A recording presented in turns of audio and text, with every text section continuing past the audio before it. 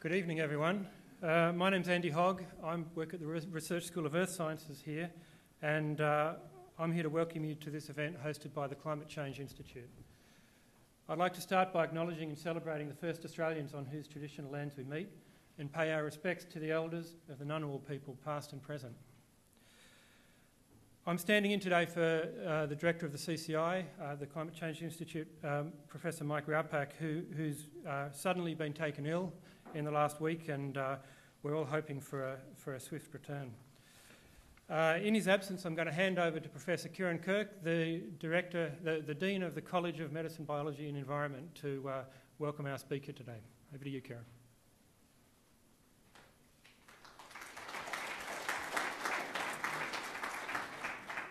Thank you very much indeed, Andy. And uh, um, as Andy has said, I'm here on behalf of Mike Raupach, who's, uh, who's unwell, and our thoughts are very much with him. Um, it's an absolute pleasure to be here this evening to um, introduce uh, to you Professor Sir Brian Hoskins, who is one of the world's leading atmospheric scientists. Sir Brian became the first director of the Grantham Institute for Climate Change at Imperial College in London in January 2008 and Brian now divides his time between Imperial and Reading University, where he's Professor of Meteorology, although he has actually just told me he has just retired from the position. That's the case, Brian? I've taken two new positions. Taken two new positions. We'll come to at least one of those in a minute. As you'll see, he's a busy, a busy man in retirement. Uh, Brian's research is in weather and climate, and in particular the understanding of atmospheric motion from frontal to planetary scales. His international roles have included being president of the International Associ Association of Meteorology and Atmospheric Sciences, and his involvement in the 2007 IPCC International Climate Change Assessment. Brian is a member of the UK Committee on Climate Change. He is a member of science academies in the UK, in the USA, in China, and in Europe. He has received a number of awards, including the top prizes of the UK and the US meteorological societies. Brian was knighted in 2007 for his services to the environment. He has this year retired but taken on various new positions. He is now the chair of the Grantham Institute, of which he was the foundation director. He tells me being the chair gives him license to have a lot of fun and do the things he really enjoys, and I hope he'll talk a little bit about that. He took out that role on the 1st of June. Brian, it's an absolute pleasure and an honour to have you here with us this evening. Uh, we'll welcome you to the podium to give us your talk, Climate Change, Are We Up for the Challenge? Brian.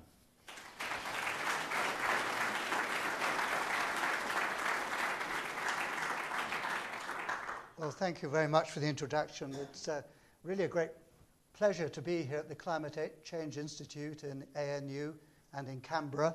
Um, my wife and I have in, very much enjoyed our visit so far here, and we intend to in, enjoy the rest of it. And in fact, after this, we go to Melbourne and then a three week tour of Australia, and we're really looking forward to that.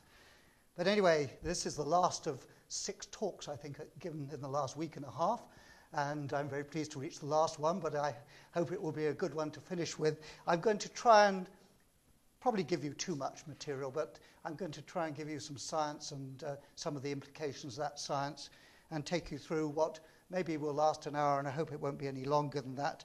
But um, I'll try and give you a very honest appraisal of where I think we are and what the challenges and what the opportunities are.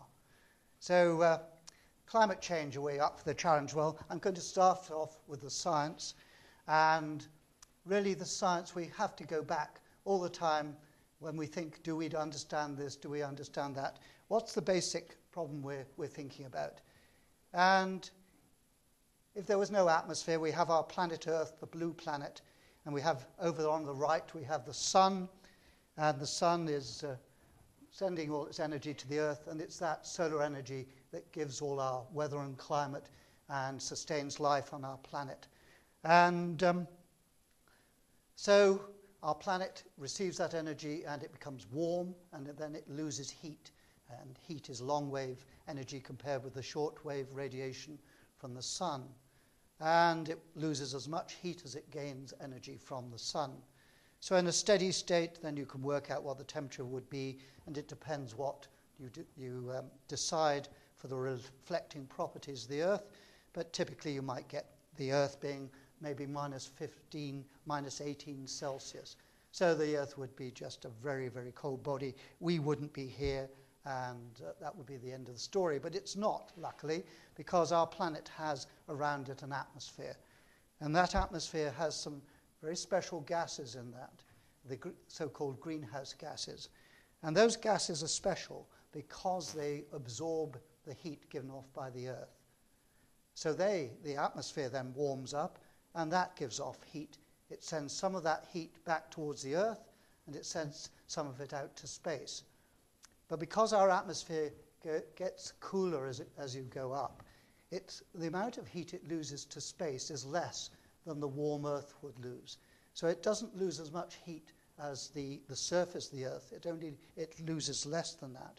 So the earth warms up until there is a balance so that the, the heat being lost by the planet is actually equal to the, the heat received from the sun. And so the Earth is warmer than it would be otherwise. And it typically, given the numbers I've had, then the average temperature of the Earth is about plus 15 rather than minus 18. So it's, a, it's some 30 degrees warmer than it would be otherwise because of this greenhouse effect. So greenhouse effect is a great thing. It's, it's the reason we're here. If we didn't have this greenhouse effect in our atmosphere, then we would not be here, and we can welcome this as being a great thing. And we can then look at the greenhouse gases, and the number one of those is water vapor. Now, you don't hear people saying, oh, we must stop emitting water vapor because it's changing our climate. And the reason for that is that water vapor is an integral part of our weather and climate. And if you put more water vapor in the atmosphere, it would be condensed, and then water evaporates and it condenses. It goes around a cycle in about a week, so that the amount of water vapor we put into the atmosphere might influence things in the region, the gully in the, in the botanical park, but it's not going to influence the whole planetary temperatures and the climate. Then the next one is carbon dioxide, and that's the one we worry about first because carbon dioxide is what we, we're adding to the atmosphere through burning of fossil fuels and through some land use changes. So that's the next one, but there's others, methane um, and all the others down the line there. So um, this isn't new. Sometimes people say, well, you guys have thought this up just to get more money for your research grants, new climate change institutes, whatever. Um, well, a gentleman called Fourier, who anyone who's done a bit of mathematics might have heard of him, he didn't like measuring things, but he was rather good with his pen and pencil, and he postulated there must be some effect like this. Tyndall actually measured this in about 1859, where he measured in the laboratory that gases like carbon dioxide absorb heat and then re-radiate it. And then Arrhenius did some calculations of what this sort of thing meant for, the, uh, for the, our climate, and then many people after that. So um, what about carbon dioxide? So we can find out in terms of various um, inferred measurements, in particularly from the ice, the air trapped in ice in Greenland or in Antarctica or wherever, and then latterly through direct measurement. And it doesn't matter too much where that measurement is because the carbon dioxide gets mixed around the world. So it's put in in very particular places, but then gets very well mixed in the atmosphere. And over the last million years or so, then the, the level has varied between 180 and 280 parts per million, somewhere through this range here. And you can see it was, we're in an uh, interglacial period and it's at an upper level here. During this previous period, then the amount of greenhouse gas in the atmosphere probably acted as a positive feedback to slightly enhance the natural cycle of the glacial interglacial periods. But from this level here, which is the highest it's been in the last million years at one high level, then it's gone here, but then the Industrial Revolution – and then we see taking it up to a level here, somewhere around 400 now in those units. It depends what time of the year you measure it and where exactly you measure it, but somewhere around 400, a level that hasn't been seen on this planet for at least 3 million years. And if we look at this, then it is incontrovertible that the rise in carbon dioxide is due to our emissions. There's a number of strands of ev evidence that show this the amount that's there in the atmosphere is about half of what we estimate we've put in due to our land use changes and our um, fossil fuel burning. Um, if we look at the isotopic composition, that's the sort of atomic structure, we find that then the carbon dioxide in the atmosphere is consistent with actually burning carbon. And again, the, the amount of oxygen in the atmosphere is actually going down, and that can be measured. Um, it's not anything to worry about too much. Um, you're not going to suddenly keel over because of this, but it is actually possible to measure it now and measure that the, it is actually decreasing at a race, rate consistent with combining with the carbon to produce carbon dioxide. So we can be very sure this is due to what we're doing. Now, the, another thing about carbon dioxide is how long it stays in the atmosphere. And for every 100 tons of CO2 we emit now, come back in a thousand years, which of course we can't do, but we would have changed the level in the atmosphere by somewhere between 15 to 40 tons. So every time you drive down the road, you are influencing the level of carbon dioxide in the atmosphere for the next thousand years or more and influencing it at a significant level. So we know carbon dioxide is going to warm the planet. It's one of those greenhouse gases. And we know what we do now is going to, what we've done already has changed the level, and what we're doing in future, now and in future, will change the level for many centuries afterwards. So adding carbon dioxide will warm the planet. The only question is how much and what that means to climate locally. It isn't just carbon dioxide, I'll mainly mention that, but other long-lived greenhouse gases and the long-lived is important here. Um, so methane um, given off by some cattle, some rice paddies, and from waste. Um, nitrous oxide, mainly associated with agricultural practices, fluorocarbons used in many things, and added together, it depends how you do the sums, but about equivalent to about 20% more CO2 than we've actually got in the atmosphere. So how's the Earth warmed? Well, This is, many people have done this work of trying to take all the data from 1850 or so up to the present day. And clearly there weren't too many people measuring temperature back in 1850, but it is possible by averaging to get a good estimate of what the temperature of the Earth must have been. You see the, the error bar is some, the, the range is somewhere in this grey region here, but the temperature perhaps even got a little bit cooler through to the end of the uh, 19th century and then warming through to uh, the 1940s, and then maybe a slightly a bit cooler again, and then warming again here. So there's lots of fluctuations in the temperature, globally average temperature series, as there is in anything to do with weather and climate. Um, but there is certainly a rise over the period. And from the beginning of the 20th century, it's about 0.8 or 0.85 of a degree. But from the industrial, uh, start of the industrial period, then something like 0.6 of a degree the temperature has risen. Now, there are lots of fluctuations. Um, in this cooling period here, um, there was a program on the BBC, I remember, with the icebergs coming up the Thames. Is this the start of the next ice age? Um, well, perhaps a little bit sudden, but um, we have to, it made good television anyway. Um, and so around here in the 1980s, actually, I gave my first lecture, a uh, public lecture on climate change, and it was entitled, Will We Freeze or Fry? And I came up with the fact that it was the frying we had to worry about. There was a lot of research already that had suggested that was the way that we had to be concerned. And um, however, and also there's been this latest period here which, according to what newspaper you read or where you get your sources from, this is a sign that global warming is over, or um, maybe it's uh, just one of the fluctuations in the series. If we look during this period, actually, we can see that the, the Earth is still absorbing more energy than it's giving off. So we still have that energy imbalance that I talked about in the first slide, but it's actually warming up the ocean at the moment, storing heat deep in the ocean and it's not being realized. We, we live at the top of all this. And two and a half meters of ocean stores as much heat as the whole atmosphere above it. So we're very responsive to how much heat is being stored in the ocean. But that's what's happened in this later period. Now, if we take this series and smooth it, um, then if we, for every point here, we take the average of 10 years around there, we get a, we then smooth out this sort of interannual variability.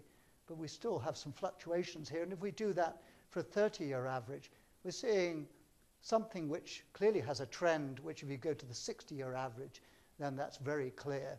And that, we think, is the signature of the, what we've done to the planet. On this timescale here, I think we're seeing maybe some influence of few more volcanoes here and there, a bit of solar variability, a bit of things due to the particles we've put in the atmosphere that cool the atmosphere.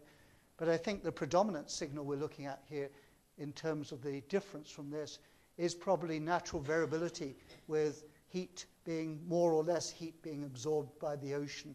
So it's a natural variability of a fluctuation. Um, and in the 90s, when it was warming rapidly, then there was probably a bit of the greenhouse gas effect and also a bit of the natural variability. And in this latest period, then we have a, the, green, the natural variability tending to decrease the rate of increase. But um, that's not going to last, we, we would expect, and it will come back again. Now, global warming is the, ter the term that's often used, and um, however, it is a warming that has occurred almost all around the planet. If we take the, since 1900, there's enough data to show a global picture these come from the IPCC, the latest Intergovernmental Panel on Climate Change report. And you can see that in this period in which the temperature rise globally has been about 0.6 of a degree, almost everywhere over the continent, it's, continents it's warmed more than 6 of a degree. The ocean, because of its great thermal capacity, warms slower. The land tends to warm quicker. And in many places, we're looking at typically um, 1 to 1.5 to 2 degrees over some of the northern continents. So it, it is a global warming, it's a warming climate all around, except in very local regions. And consistent with the warming as well, sea level has risen. So it's risen over the period by about 20 centimeters. This comes from tide gauges, and this later bit comes from actual satellite measurements. And 20 centimeters over that 100 year period as this sort of sea level rise. Now, contributions to that come from a number of things. The obvious thing is melting ice on land, so many of the glaciers have, have decreased during this period. Another aspect is the warming ocean. Water doesn't expand much when you heat it up, but it does a little bit, and that's made a major contribution to the sea level rise and will continue to do so. And then also during this last period, we can actually measure from satellites the weight of the ice sheets. And the Greenland and Antarctic ice sheets are already contributing to the decrease in those ice sheets is contributing to this change in the recent period, which is slightly more than 3 millimeters per year. So that's equivalent to 30 centimeters per 100 years is the rate of change that we're seeing now.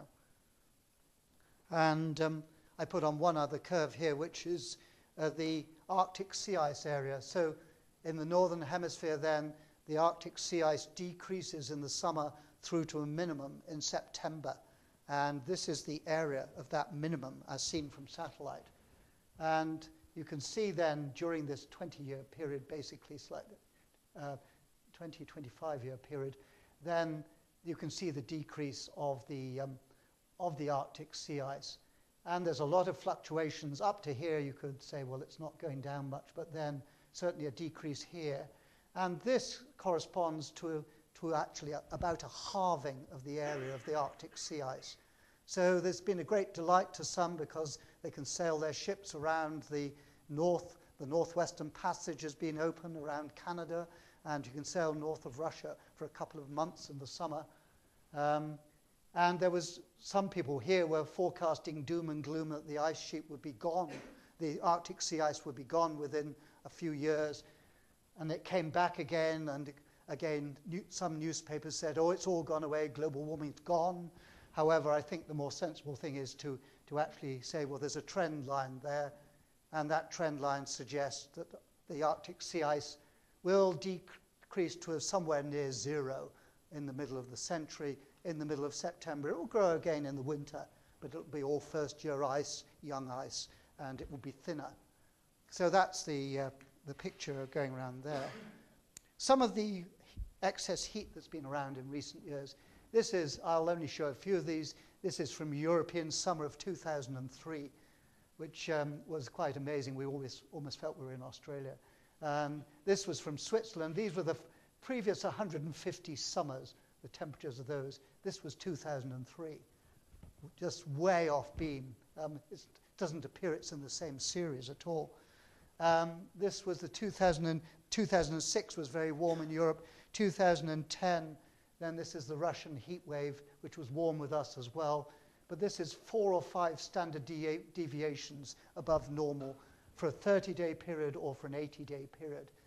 And the fires around Moscow certainly made um, I think the Russians less content that global warming was, sounded pretty good. Um, so that was a Russian heat wave, and I, of course, had to say, well, I won't go through them, but I know Australia was a bit warm in 2013, and there were rather a lot of records broken. Now, there has been research to do, say, well, if we, would we expect this to be associated with the warming of the planet, in particular due to greenhouse gases that we've added? And there's no doubt from the research that's been done that this, these sorts of records become a lot more likely given the greenhouse gases um, that we've added to the planet. And David Karoly and others in Australia have certainly made the point for the Australian heat that this would have been virtually impossible without the, without the greenhouse gases that have been added. But, and I want to be honest about this, so not everything is in that direction. So we've had in Europe some of the coldest winters for a very long time. And in fact, winter 2009-10, you can see this very cold bit here. That's sort of here in, um, in Siberia. It was about 8 degrees below normal during that winter. And through to the UK was a 2 or 3 degrees below normal that winter and cross into the US. And okay, perhaps that's a one-off, but then December 2010, a similar sort of pattern, and it was a record. Um, that's a record in 200 years or so in the, U- in the UK. So a record cold December. And you can see that pattern there. But other places were very warm. Now, there was one day in London when it wasn't going to go above freezing. Now, that's very unusual in London. And the temperature was plus 11 in Greenland. So, you know, we weren't looking at something where from our back garden we could say what the temperature of the planet was we were looking at a very particular weather system that was incredibly persistent. And that's been the story of recent years with many records going, not because the pattern hasn't occurred before, but because it's very persistent. Antarctic sea ice has actually reached a record maximum. Now, what's happening here? The, the Arctic is a very enclosed basin, and what we've been expecting to happen has happened there. In fact, I think the natural variability may be part of that, that maybe it's warming more than we expected. But Antarctic, Antarctica then is ringed by the southern oceans and very sensitive to the winds around the southern oceans. And it appears from the research that's been done that the change in the winds over the southern oceans, and maybe that's influenced by the, the ozone hole, has, um, has actually been influential in terms of Antarctic sea ice and even perhaps some of the melting of the, these um, Antarctic uh, ice has actually led to a, um, a, a layer which has changed the stability of the ocean around Antarctica and perhaps increased the possibility of this growth. So um, interesting behavior. The climate system's not simple. Things happen in all sorts of directions. And global warming is one thing. Climate change is another. and it is possible to get all sorts of different behaviors in a changing climate. Rainfall records, well, I, we've come here after a very interesting 2014 um, in the January to April period and the January to August period, those were records in the last 100 years. So the record started in 1910. We had record rainfall in that period. And then the September before we came here, was a record in the whole 100-year period as well. Amazing number of records being broken like that. And I've mentioned one other thing, thing here, Pakistan floods. Partly mentioning that because of the number of people involved, of 2,000 deaths, 2 million homes destroyed, 4 million left with food shortages, the worst calamity in our history, one politician says. So these events have, um, have an impact. Now, a tropical cyclone, the uh, record winds at landfall in a tropical cyclone hitting the Philippines. Now, can we say any of these are due to what we've done to the planet? And the answer to that is no. We can't say because as scientists we go for 90%, 99% confidence and we can't say it like that. However, they're certainly interesting, the number of records being broken. What we can say from basic physical principles is that a warmer atmosphere hold, can hold more water, and in general it does. And for every one degree, you can, the atmosphere can hold 7% more water. And so six degrees warmer can hold about 50% more water. That's half as much again. So it means the same rainstorm, the same severe rainstorm, all other things being equal, could actually be 50% heavier. And around the world, there's far more events of heavy rainfall events being broken than the opposite. So heavy rainfall is certainly something we can expect. These extended periods of rainfall, like the UK record, and some of the floods that have happened here in Australia, then we can't, as scientists, or this tropical cyclone, we can't say as scientists those are because of what we've done to the planet. Um, however, we will continue to work on it. However, in terms of a risk that we're running, then the risk is there. Now, if we're looking towards the future, then we have to use climate models. And we can use very simple models like the one I put on the first slide, which is an energy balance model, just integrated around the world. And we can say, what does that give us? Or we can make it slightly more complicated and add some of the, some of the things we have, the depth of the ocean and some of the behavior of the atmosphere, and then we can do write ups to make it the most complicated models we can do at the moment and run for a long time on supercomputers where they use Newton's laws of motion for the atmosphere and the equations of thermodynamics and they do the same for the ocean and they model the behavior of the biosphere, the, the things going on on the land surface and the details of the chemistry of the atmosphere and the carbon cycle and other things. And they do this on a scale of maybe 100 kilometers or so, these days even getting down to 50 kilometers. Uh, so doing it on a reasonably fine resolution. And these models take a long time to run. They've been tested on past climates, and they're tested in their behavior of the weather around. And they're not just accepted, they're always being evaluated and improved. Those models then can be used to look forward and say, well, given we're adding greenhouse gases to the atmosphere, what's liable to happen in future? Well, of course, it depends what we're going to do. And I've shown two from the IPCC, two scenarios here. One where we continue much as we are at present, that's the red curve here. And then the blue one is if we take this very seriously and really have a strong reduction in our greenhouse gases. Now you have to remember when you're looking at the numbers here, this is, takes the zeros around the 2000 line here, but of course, we've already warmed by 0.6 of a degree. So this number here should be really more like one and a half to two degrees for the lowest scenario. And for this one here, we're looking at more like four and a half degrees for a warming. So the planet, really, we're looking at a warming of around one and a half to two or around four and a half for this upper scenario here by the end of the century. They don't separate really much till the 2030s, 2040s, it's in the latter part of the century that we get it. So these give the ranges for various scenarios for the end of the century. That's a global warming, and as I've tried to say already, that doesn't really affect us too much, perhaps apart from sea level. What does this mean regionally then? So if you take the average of all these climate models and we take the upper scenario and then for the annual average temperature, this is the change. So remember, on this scale here, we're looking at the changes which globally were around 4 degrees from 1900. So that's the sort of number globally averaged. Almost everywhere over the ocean, we see less in future, and almost everywhere over the continent, more, more like 5 degrees or, or so over Australia or elsewhere over the tropics. Imagine adding 5 degrees onto the tropical temperatures. It's way outside the variability of the tropics and uh, certainly um, that would have a major impact. In the higher latitudes of the northern hemisphere, in winter time, this is more like 10 to 12 degrees, and you can imagine what that would do to the permafrost. Now, it's not just a warming that goes on here.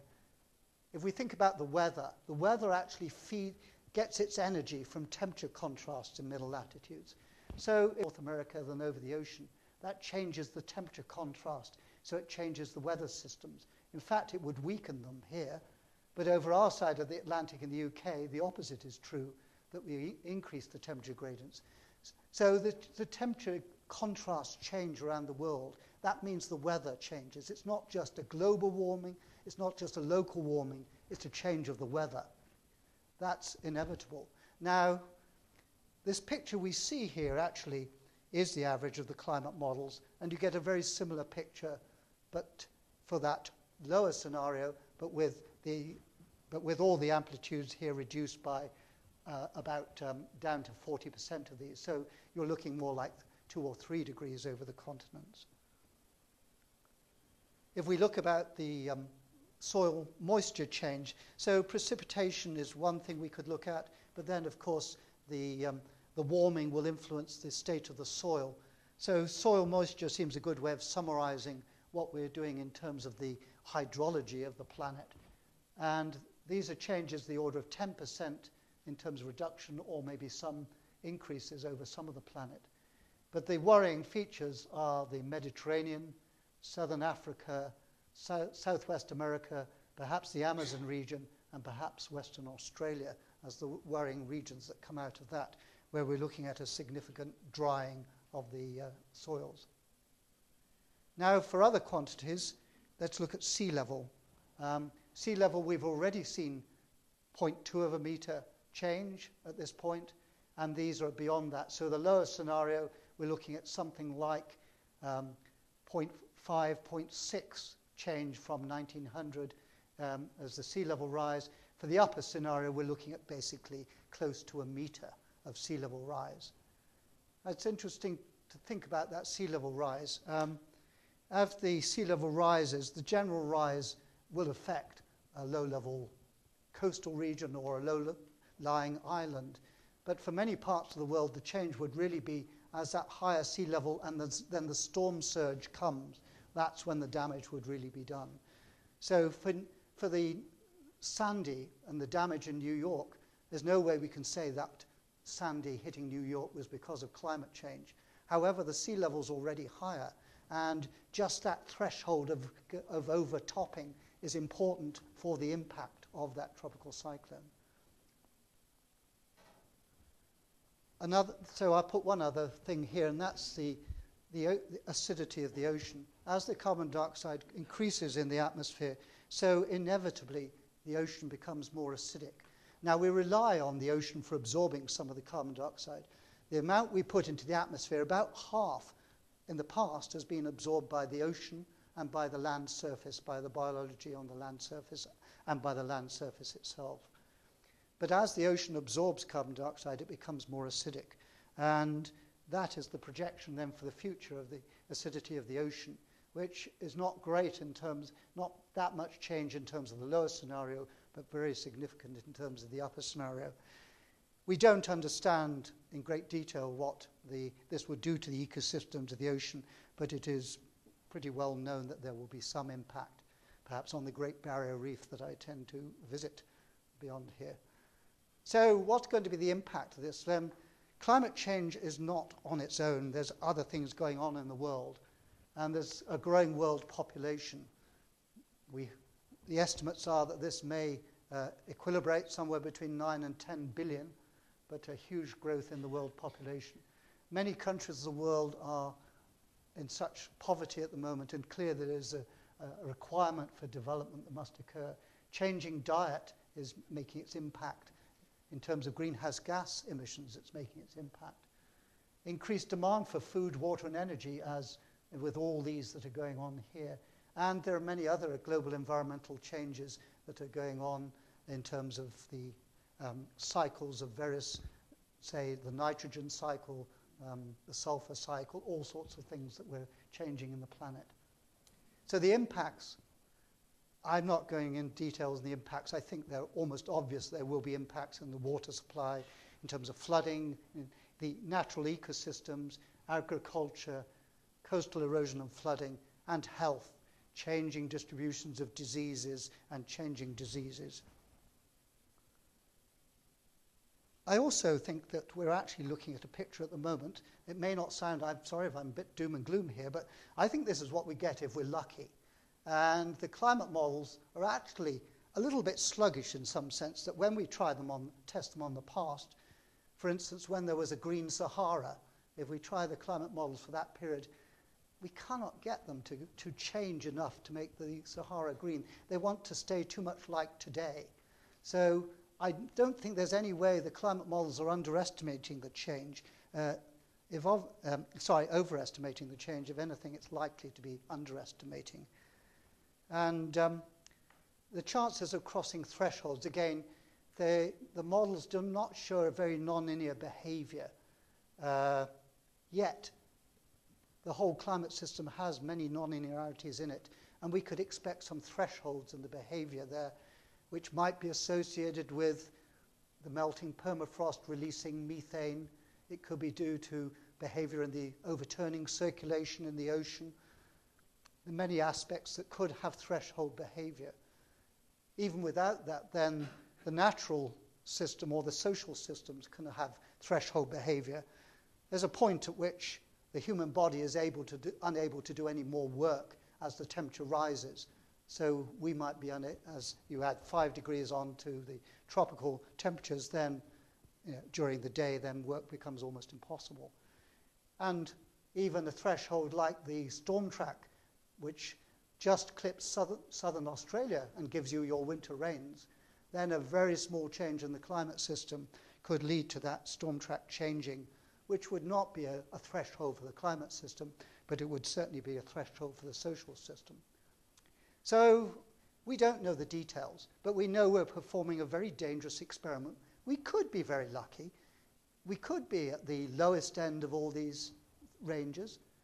We could be. We don't have a thousand planets to try the experiment and try it on one or two. We've only got one. And to risk that being that we're going to be very lucky, I think is really something I don't want to do, and I don't expect many people would. So, what can we do? Well, we can adapt. Okay? Um, and the ADAPT says we, we look at things and we say, well, for instance, the Thames Barrier uh, has, there are plans through to this next period for a new Thames Barrier. And it's thought that by, for the end of the century. And there are various decision points that can be made, but if you go one through one branch of those decision points, then it could cope with a two meter sea level rise. because it says, well, one meter is what we think is the right level, but let's go for two meters. But actually, in order that we don't commit ourselves and put all the expense of that, then just plans are made which could be flexible to go in all different directions. So a rich country can do that, a poor, poor one clearly can't. But we have to adapt because there are changes going to happen. Do something else to compensate. Well, there's two aspects. This often goes under the name geoengineering, but I prefer to separate this because there's two very different things. One is to say, well, let's remove the carbon dioxide from the atmosphere. That we don't like the levels there, let's take it out. Now, the laws of science tell you that it's much easier to take carbon dioxide out when it's very concentrated than when it's very diffuse in the atmosphere. So the energies involved in taking it out when it's diffuse in the atmosphere are, would be very large however you could envisage over the desert regions of Australia using solar power, taking out some of the carbon dioxide and storing it underground. It, it is a possible behavior, and people are researching into that.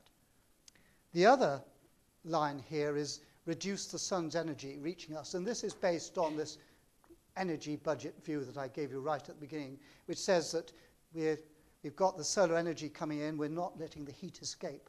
So let's stop some of the sun's energy coming in. Okay, well, yes. And there are various ways this can be done. We can put up satellites with umbrellas, so we can uh, put particles high into the atmosphere in the tropics and they spread over the Earth, a bit mimicking some of the volcanoes we've had. Or we can try and make the low clouds whiter by putting lots of droplets into the atmosphere in certain places, or we can try and make the surface of the Earth a bit whiter get your brush out and paint the grass white. So uh, there's all sorts of different ways here. Um, I can't say I'm awfully keen on them personally. Um, um, there's a number of aspects of what. One is, even if you were able to balance the global energy budget, and so the global pl- the planet did not warm, the climate would still change because there would not be a balance in terms of space and time so there would be an imbalance and the climate would change. In fact, rainfall is likely to decrease globally, is our understanding of that at present. And certainly locally, the climate would certainly change. Is it feasible? Well, probably the most feasible one is this one here. Um, putting up using special rockets or aircraft, putting particles into the stratosphere, um, little aerosol particles, and they would give some very nice sunsets They might change some of the chemistry of the stratosphere. We've done that already with the ozone hole, and it could get worse again. And then it comes back to Earth, and we, we, that might not be too good for us either. Um, so, that, and it would, once we've started doing it, we would have to continue for the next thousand years because we otherwise the, the, what we've already done to the greenhouse gases would suddenly become apparent. Um, so, yes, I, I can't say I'm too keen. So um, we have to adapt. We may do have to be forced into some of this at some point, but it's a lot easier to stop it getting there in the first place. So what about the drastic reduction, reduction in the greenhouse gases? So there's international negotiations on mitigation that have been going on a long time. Since 1992, really, there have been meetings every year and a lot of discussion where hopes have been raised and then dashed. But we're through to a, an interesting time again there's one of these conferences of the parties, one of these COPs going to occur in Lima in the first week of December. And there's been an agreement through this international process that, to, that we should, the countries of the world should be trying to limit temperature rise to less than two degrees, like that low scenario I showed you. And also that there should be an actual agreement on how this will be done in Paris in 2015 to become active in 2020. A little bit late, but there is agreement that that should happen. And there was a heads of government meeting in the UN in September to try and get uh, some steam behind this. And lots of countries are making um, commitments, um, voluntary commitments or targets. I'll talk about the UK in a moment and uh, just say some of the things we're doing there. But um, the EU is presently committing to 30% reduction by 2030 and it seems that it will actually change that to 40% by the end of October. China has been making very interesting noises about, up to now, it's been saying it tends to reduce the amount of carbon emission per GDP, but now it's talking about absolute um, maxima to its emissions. And the US have been linking with China on this, and also lots of activity in the US around the states on the fringe of the US, California, and on the East Coast, or right up the East Coast and the West Coast, and uh, Obama also doing what he can from regulations. The new prime minister in India is, is actually not talking too much about climate change, but he is talking about putting solar power into India in a very big way. So there's lots of interesting moves that are going on there. Just to say the urgency of the problem, um, this is an estimate of the carbon emissions in the past. And then if we're to go with the new, um, that low scenario, this is what they're likely to have to be in the future. Or that's the, the one where we don't do anything. The crucial thing under here is the area of the, under the curve here. That's the, our total carbon budget. We've already used the bit up to here, and this is what we've got left in future. If we continue on that line, then in order to make the area under the curve the same as this, we'd have to, whoops, we'd have to almost drop, um, drop um, like a stone at this point, and it becomes impossible to do that. So this is the challenge, is how are we going to, uh, if we're going to do something like two degrees, that's all the carbon emissions we've got left. So there is an urgency to the problem that the global emissions turn, peak and turn over sometime in the 2020s.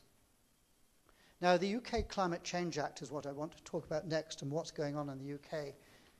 So this went through Parliament in 2008, and it went through um, with 450-something voting for it and three voting against it. So that's agreement, I think, almost across the board. I don't think if you had a, a bill about the, the uh, continuation of humanity, you probably still get three voting against it. so this, this is agreement. And it was quite an amazing act. I mean, this, uh, I'm often very critical of my country, but this is something I've been really very proud of. So it actually commits, in law, the UK is committed to go to an 80% reduction in its emissions of greenhouse gases by 2050. That's our law. It's not just it's a target, it's actually law. And it's not just a target that's way out there in the future. We actually have a, section, a, a, a set of five year carbon budgets which are set and then become legally binding. So those started in 2008 and taking us forward into the future. And there's a requirement on the government to develop policies and proposals to meet those budgets, so they're legally bound to do that.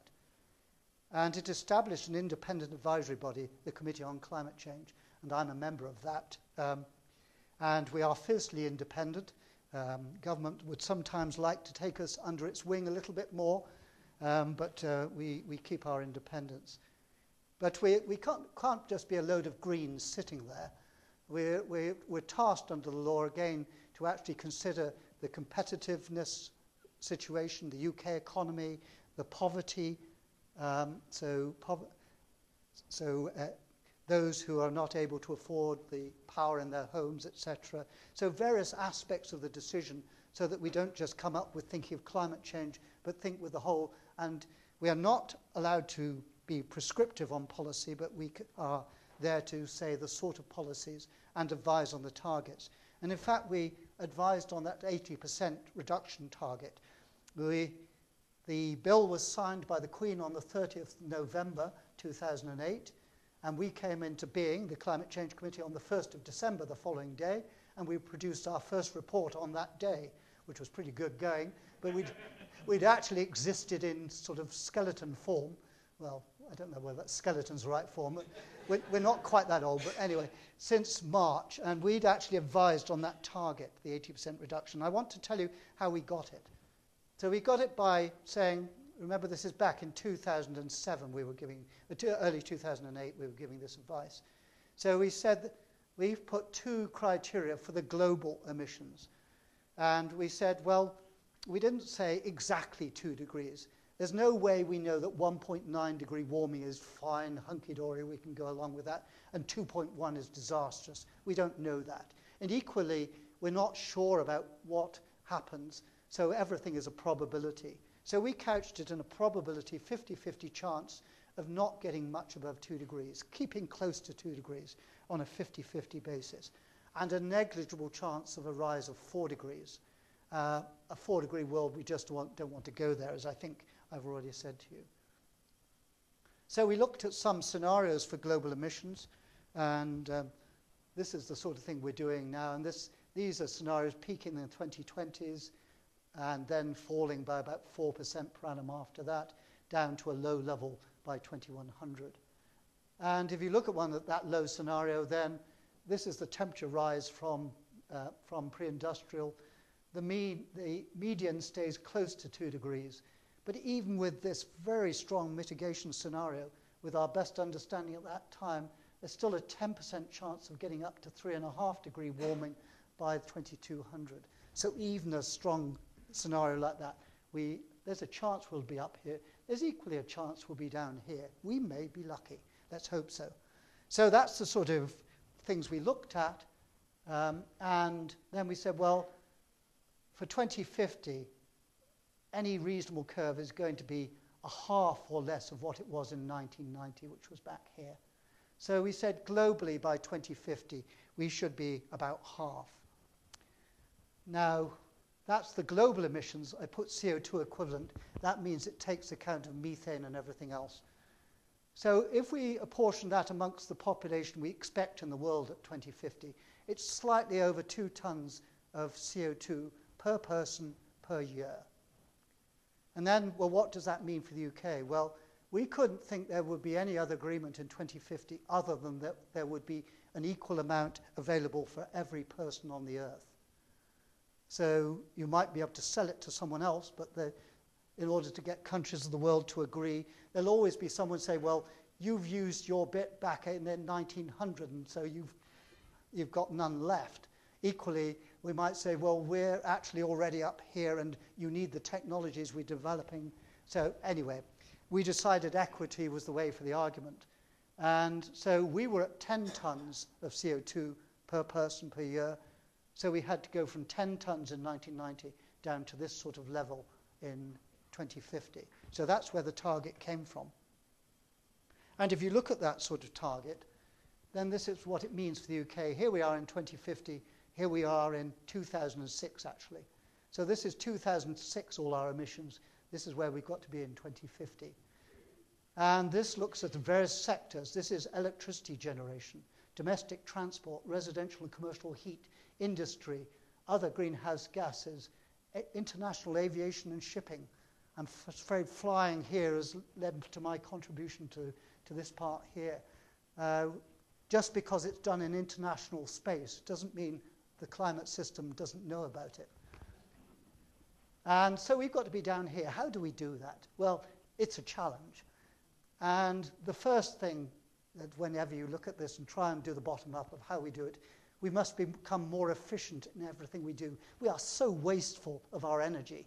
And so we have to be more efficient. That's number one in every sector along across the board here.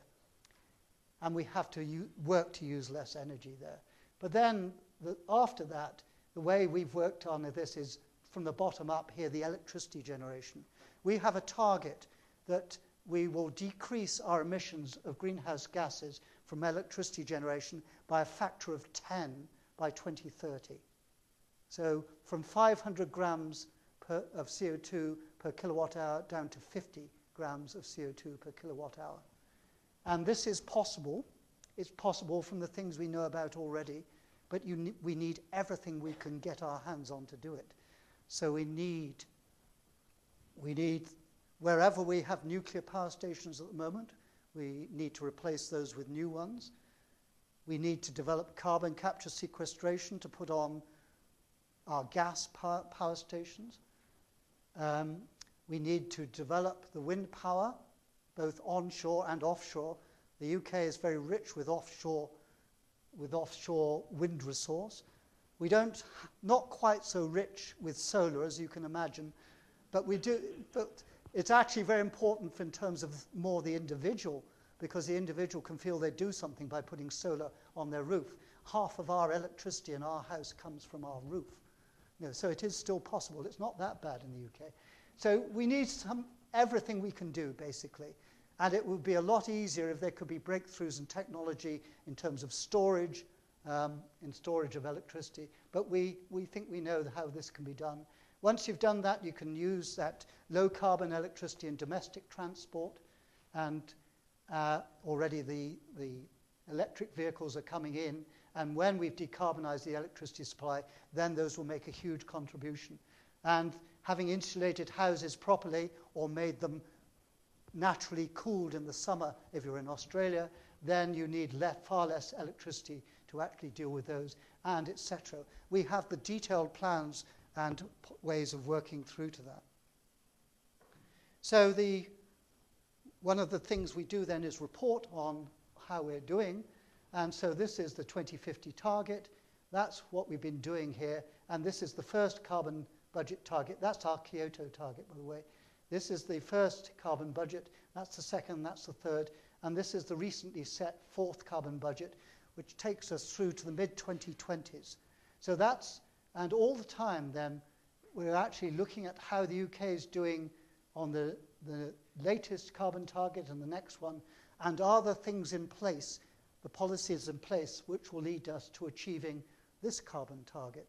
So that means you have to develop things, you have to develop the infrastructure that will enable you to do this.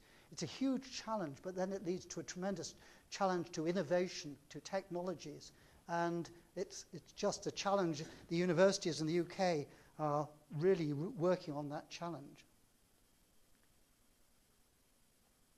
Oops, sorry, I went the wrong way then.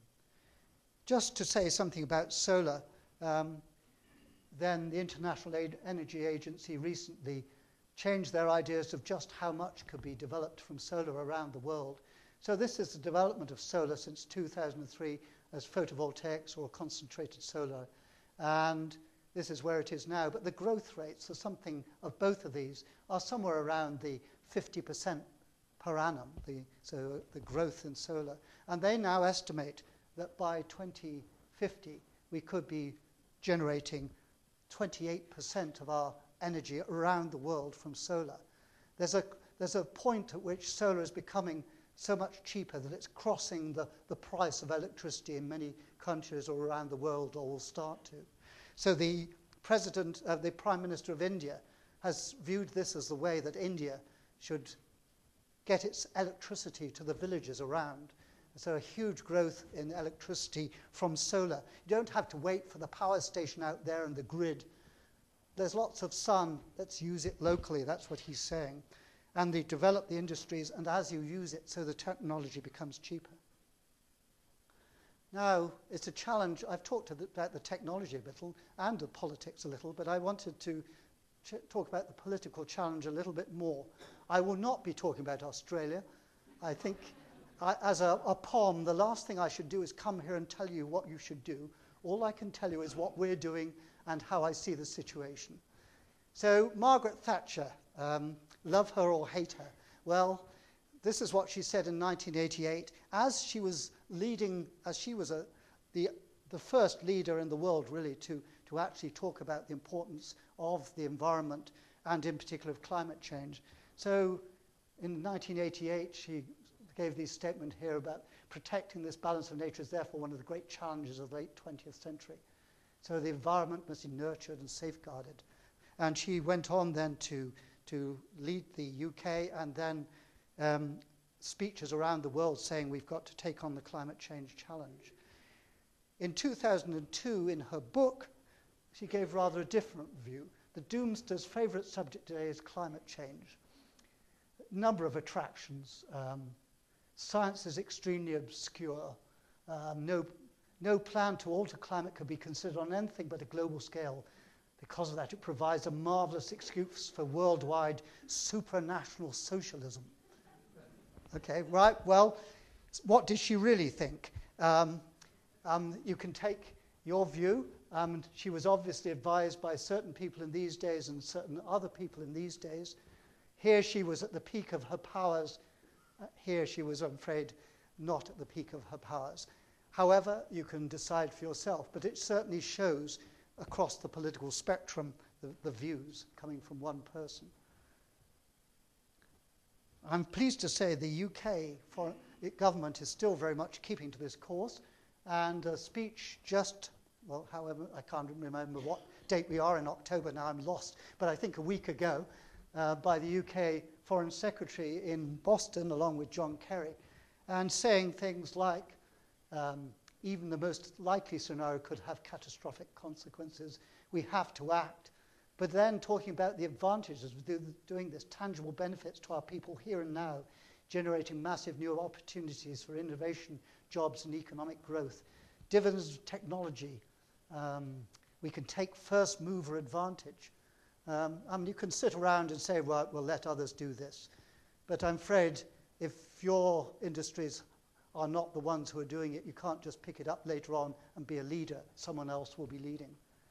And, and the urgency of doing this. We have to do it now. So that was the UK Foreign Secretary a week ago.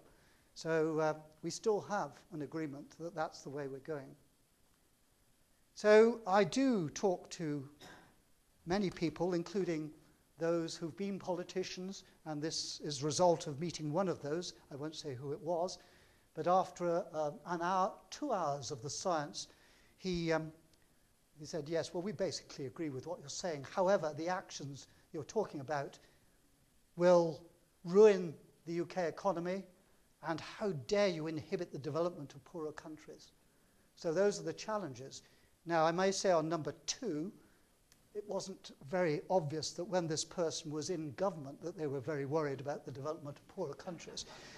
However, um, I have to take it seriously.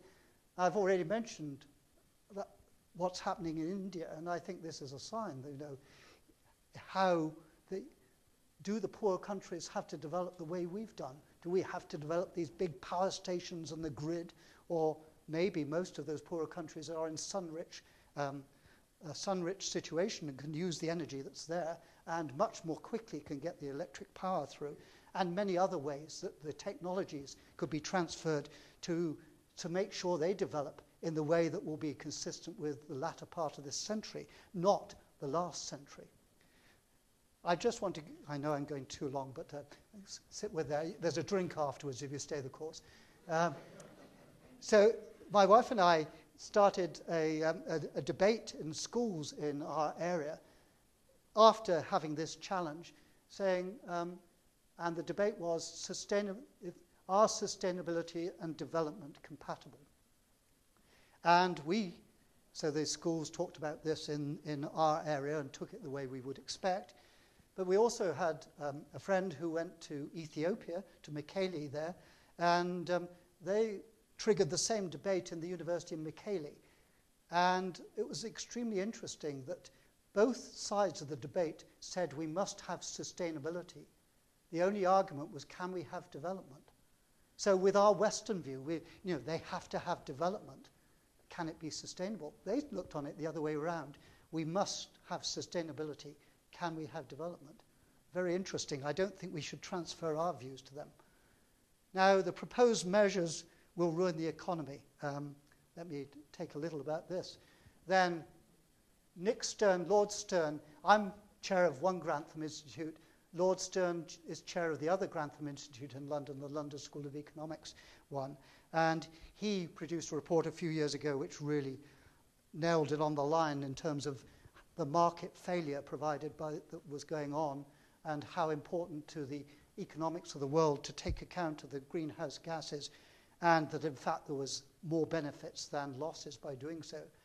And there's been a new commission to time to go before this Ban ki summit recently in New York, talking about the cost of inaction greater than the cost of action. So these are economists and business people who are, saying this. The top com companies of the world are setting their carbon reduction targets in line with expecting the world to go down by 6% per annum. They're already doing it. And uh, uh, the amount of money involved is not that great in terms of the infrastructure that's around. After this report, interesting, the Financial Times, that's not known for its the, to be a tree hugger, um, said that this report made a convincing case that we can achieve both greater, better growth and a better climate. Capitalism versus the climate is a false opposition. Saving the environment does not mean killing the economy. Financial Times, a little better source than me for the answer to that question, I think. and I've already said this, some more actions from business, etc. Unilever is a particular company that way back in 2010 said, we are going to make sustainability at the centre of our operations, not put it on a, some sort of corporate and social responsibility thing on the edge. It's the centre of our operation. And there's many companies getting to together now and talking about helping to cut the tropical deforestation. I know it's a contentious issue here on divestment in this area. Um, but ethical investment has certainly been something that's um, taken a big leap recently. And the Rockefeller Foundation came out recently saying they, they are going to move, despite having made their fortune in this area, they're going to move out of it. Recently, Lego have said they're going to separate their link with Shell. And of course, some universities, including in the UK and Australia, have said that they are going to look at their investments and uh, move them away. Is it the right thing to do? Some argue yes, and some argue no. Um, the no's would say, well, we need the companies like Shell to actually use their technological expertise and turn it in our direction. Others would say, if we hit them over the head, they're more likely to do so. So, uh, and it's a challenge to society. I think we have developed, evolved, being able to look after our family grouping, our visit, village, perhaps, those we can see, and think about this year and next year. But can we think about other countries, other decades? It's a real challenge to our species. And Graham Pearman sent me an email recently, uh, just the other day, when he saw my title, which he told me that he'd written a chapter in a book, along with a psychologist, he'd written a chapter in a book with almost the same title. I wasn't aware of that. But he was looking at some of the, the psychology of the situation, the human behavior. And he started was talking about the risk that in science, as I've already said, I can't say that that tropical cyclone is because of climate change because I'm looking for the scientific thing where we look for sort of 99% confidence. However, if you're doing risk management, you say, well, what's the risk of my fire, my house burning down? What's the cost of the insurance? I'll have it. You know, so you don't think your house is going to burn down, but you actually uh, say you're going to have it. And human behavior is, is determined by our, what's happened to us, our attitudes, our beliefs, religious beliefs, social beliefs, etc. And when confronted with a threat and climate change is seen as a threat, then often there's a sort of knee-jerk reaction to go a certain way. And it's very sad that almost in some countries you can know, if you know someone's, what party they vote for, you know what they'll think of climate change. It shouldn't be that way. So can't we, as Graham said, we can only really move forward if we are building on shared aspirations of where we wish to be. And that should be across the agenda. We've got to do that. So I come to the end and I say, well, climate change is a challenge to our science, to me as a scientist, to the scientists here. It's a challenge to our technology and our innovation, one that can drive us to new vistas in terms of our technology and is already being taken up in many places. It's a challenge to our businesses, to our economics, to our finance, and it's a challenge to the politicians. And it's a challenge to us as social beings as well. It is, a, I hope I've shown you also, a major opportunity because I think in this transformation that would be needed to go to that two degree scenario compared with the four degree, we're actually, it's a transformation of society that would be in many ways preferable to the one that is viewed as business as usual, but clearly would not be. So there's a major opportunity. Are we up to it?